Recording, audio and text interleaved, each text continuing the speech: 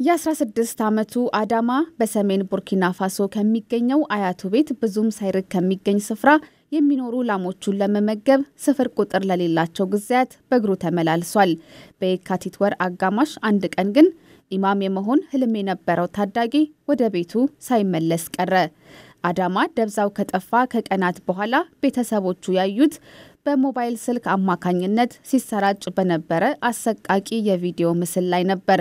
አዳማና ሌሎች ደማቸው የፈሰሰ ስድስት ልጆች እጆቻቸውን ታስረው አብዛኞቹ እስከ ወገባቸው ራቁታቸውን ሆነው ወድቀው ይታያሉ።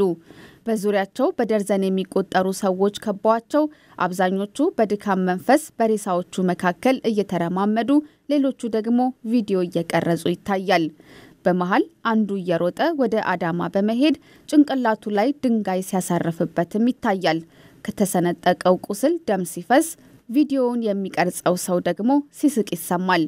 ይህኛው አልሞተም ነበር ይላል የሰውየው ድምፅ ወደ አዳማ እያሳየ። ለቤተሰቦቹ ደህንነት ሲባል አሶሴትድ ፕሬስ የአዳማን ሙሉ ስም ከመግለጽ ተቆጥቧል። ሰውየው ጨምሮ ለምንም አጠቅሙም፣ ሰው ከመግደል ውጭ ሌላ ስራ የላችሁም፣ ሁላችሁንም አንድ ባንድ እንገላችኋለን ይላል። የቡርኪና ፋሶ ጦር በዓለም አቀፍ ሕግ መሰረት የጦር ወንጀል የሆነውን ይህን ግድያ አልፈጸምኩም ሲል ኃላፊነት እንደማይወስድ ገልጿል። ሆኖም አሶሲየትድ ፕሬስ የተመለከተው 83 ሰከንድ ያክል እርዝማኔ ያለው ቪዲዮና ከሳተላይት የተገኙ ምስሎች ግድያው አዳማ ከሚኖርበት አካባቢ አቅራቢያ ኡአሂጉያ ከተሰኘ ከተማ በስተ ሰሜን ምዕራብ ሁለት ኪሎ ሜትር ርቀት ላይ በሚገኝ ወታደራዊ ካምፕ ውስጥ መፈጸሙን ያሳያሉ። በቪዲዮ ላይ የለበሱትን ዩኒፎርምና ተሽከርካሪዎቻቸውን በመመልከትም እስከ ቅርብ ጊዜ ድረስ በአሜሪካና አውሮፓ ህብረት ስልጠናና የትጥቅ ድጋፍ ይሰጣቸው የነበሩ የቡርኪና ፋሶ ጸጥታ ኃይል አባላት መሆናቸውን አሶሲየትድ ፕሬስ ገልጿል። የአዳማ እናት ልጃቸው በጸጥታ ኃይሎች መያዙን የሰሙት ከሌላ ዘመዳቸው ሲሆን እስካሁን ግን መገደሉን የሚያሳየውን ምስል አልተመለከቱም። አዳማ ረዥም ዕድሜ የመኖር እድል ቢያገኝ ኖሮ ማህበረሰቡ እንዲያድግ ይረዳው ነበር። ግን አሁን ያ እድል የለውም። ሞቱን ከሰማሁበት ቀን አንስቶ ሀዘን ላይ ነኝ። አለቅሳለሁ።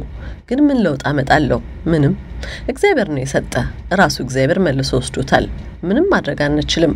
ሁሉም የሰው ልጅ ይህ እጣ ይገጥመዋል። ሁላችንም ሟች ነን። አንድ ቀን እንሞታለን። ላለፉት ሰባት ዓመታት ቡርኪና ፋሶ ከአልቃይዳና እስላማዊ መንግስት ቡድን ጋር በተገናኘ በሁከት ስትናጥ ቆይታለች። መንግስት የሚደርሱትን ጥቃቶች ማቆም ባለመቻሉ ምክንያት ባለፈው ዓመት ሁለት መፈንቅለ መንግስቶች የተደረጉ ሲሆን አማጽያኖቹን ለማጥፋትም ቃል ገብተው ነበር። ነገር ግን ብዙም የተቀየረ ነገር የለም። ይልቁንም ቡርኪና ፋሶ አፍጋኒስታንን በመተካት በዓለም ደረጃ በአክራሪዎች ጥቃት ከፍተኛ ሞት የተመዘገበባት ሀገር መሆኗን ዓለም አቀፉ ሽብር ጠቋሚ ተቋም ያወጣው ሪፖርት አመልክቷል። አክራሪዎቹ የሚያደርሱት ጥቃት እንዳለ ሆኖ ነዋሪዎቹ ከዛ የበለጠ የሚፈሩት ከፍርድ ቤት እውቅና ውጭ ግድያ የሚፈጽሙትንና አማጽያኑን ትደግፋላችሁ በሚል ቁጥራቸው ለማይታወቅ በርካታ ሰዎች ለመጥፋት ምክንያት የሆኑትን የቡርኪና ፋሶ ጸጥታ ኃይሎች እንደሆነ ይናገራሉ። አንድ ቀን አድማ በመንገድ ላይ ዝም ብሎ እንዳይዘዋወር ነገርኩት። መንገድ ላይ መዘዋወር አደገኛ ነው። ሰዎች የአክራሪዎቹ አባል አድርገው ሊቆጥሩህ ይችላሉ። ስለዚህ ከአያትህ ቤት ብዙም አትራቅ ብየው ነበር። እዛ አርፈህ ቆይና እግዚአብሔር ሲፈቅድ እጎበኝሃለሁ አልኩት። እግዚአብሔር ሲፈቅድ ሄጄ ላየውና ወደ ቤት ስመለስም ይዤው ልመጣ ነበር። አዳማ ከተሰወረ ከቀናት በኋላ አስክሬኑ ቪዲዮ በተቀረጸበት ወታደራዊ ጣቢያ አቅራቢያ መንገድ ዳር ወድቆ ተገኘ። አሶሴትድ ፕሬስ ያነጋገረው የአዳማ አጎት የእህቱን ልጅ ሬሳ ሲያይ የተሰማውን እንዲህ ይገልጻል። ምስሉን ስመለከት አዳማ መሆኑን አምኜ መቀበል አልፈለግኩም ነበር፣ ግን አውቄዋለሁ። እውነቱን ለመናገር ሳየው በጣም ነበር ያዘንኩት።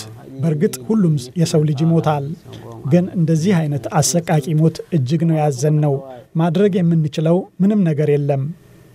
በቡርኪና ፋሶ የሚደርሰው ጥቃት ዘርን መሰረት እያደረገ የመጣ መሆኑንና ሕጻናትን ጨምሮ የፉላኒ ብሔር ተወላጆች ኢላማ እየተደረጉ መምጣታቸውን በአካባቢው የመብት አቀንቃኝ ቡድን የሆነው ተቋም ዋና ጸሐፊ ዳውዳ ዲያሎ ይገልጻሉ። ህጻናትን እየጎዳ ያለው የጸጥታ ጉዳይ ያሳስበናል። በተለያዩ እንቅስቃሴዎች ወቅት የጸጥታ ኃይሉ አባላት ህጻናትን ጠልፈው መውሰዳቸው አዲስ አይደለም። ህጻናት ከብት ሲጠብቁ ታፍነው ከፍተኛ ጥበቃ ወደሚደረግበት እስር ቤት ይወሰዳሉ። የአስር ዓመት ዕድሜ ያላቸው ህጻናት ሳይቀሩ። ይሄ ሊታረም የሚገባው አሰራር ነው። ከእስላማዊ መንግስትና አልቃይዳ ቡድኖች ጋር የሚደረገውን ውጊያ ለማገዝ ዩናይትድ ስቴትስና አውሮፓ ህብረት ለቡርኪና ፋሶ በ10 ሚሊዮኖች የሚቆጠር ዶላር የሚያወጣ ወታደራዊ ስልጠናና ቁሳቁስ ሰጥተዋል።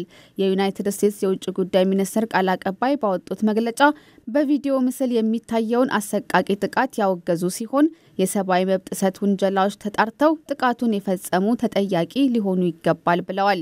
የቡርኪና ፋሶ መንግስት ቃል አቀባይ ለአሶሴትድ ፕሬስ በሰጡት ምላሽ ብዙ ጊዜ ታጣቂዎች የጸጥታ ኃይሎችን በመምሰልና ተግባራቸውን በመቅረጽ የጸጥታ ኃይሉን ተጠያቂ ለማድረግ ይሞክራሉ ቢሉም የግጭት ተንታኞች ግን ታጣቂዎች አብዛኛውን ጊዜ ለሚያደርሷቸው ጥቃቶች የጸጥታ ኃይሎችን ተጠያቂ እንደማያደርጉና የአካባቢውን ሕዝብ በመፍራት ህጻናትን እንደማይገሉ ይገልጻሉ።